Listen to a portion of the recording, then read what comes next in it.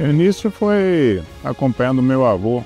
É, essa paixão pelo mar veio da convivência com ele, é, acompanhando ele nas velejadas. A competição, assim, já de maneira mais séria, foi quando a gente foi morar em Brasília. Para o resultado ser positivo, é, é preciso muita coisa, mas o principal né, é continuar acreditando que vai dar e você vai chegar lá, porque você precisa passar pelas situações primeiro, né? E normalmente é, você acaba aprendendo muito mais errando do que quando as coisas dão certo, né?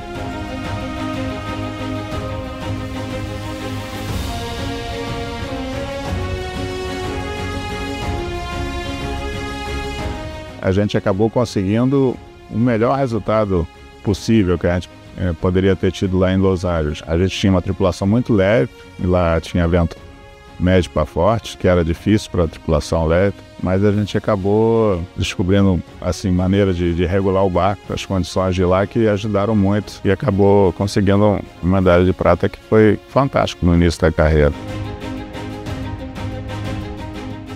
Em 88, a gente estava indo super bem até a penúltima regata.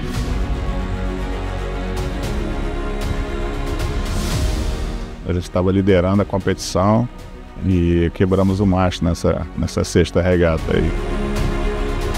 Foi um momento difícil, né? Porque estava é, muito perto aí de uma, uma medalha de ouro e a gente acabou ficando com medalha de bronze. Mas em compensação, meu irmão, que não estava no quadro de medalhas, acabou indo bem no final. E aí a gente fez dois bronzes em vez de fazer um ouro. Então, meus pais ficaram bem contentes com o resultado. Aí em 96 a gente novamente é, conseguiu duas medalhas em família, mas a gente conseguiu o ouro. Realmente é, é aquela satisfação de você ter chegado no lugar mais alto, né? é, no teu esporte.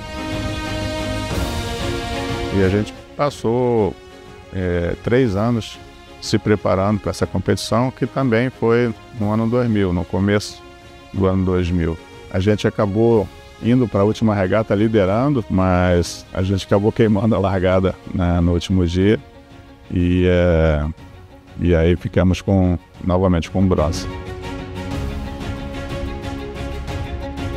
A gente fez uma preparação excelente e é, chegamos muito confiantes né, em Atenas. Os resultados né, foram, foram vindo assim bem forte no, no, no, começo dos jogos e aí a gente acabou conseguindo conquistar o, o bicampeonato por antecipação. Minha vida né, foi praticamente dedicada à vela, né, continua sendo.